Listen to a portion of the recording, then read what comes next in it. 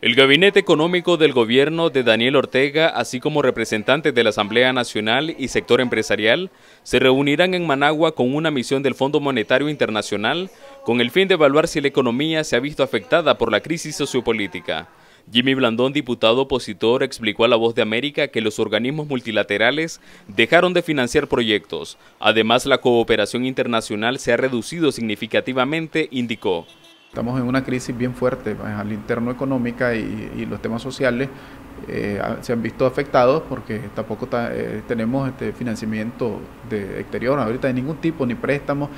Expertos advierten que en el año 2019 el Producto Interno Bruto podría caer hasta un 10.9%.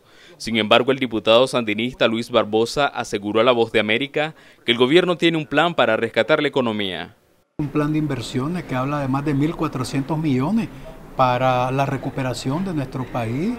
Estamos hablando de nuevas inversiones, está hablando de la disposición de este gobierno, de las reformas que se está haciendo. El sector empresarial de Nicaragua, al cual el gobierno sandinista culpa del deterioro de la economía, no será parte de este plan sin que antes se solucione la crisis sociopolítica, asegura Lucy Valenti, una de sus representantes.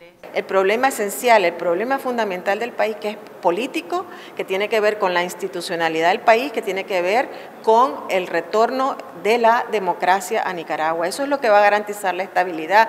Se espera que tras concluir su visita en Managua, el Fondo Monetario Internacional haga varias recomendaciones al gobierno de Daniel Ortega. Donaldo Hernández, Voz de América, Nicaragua.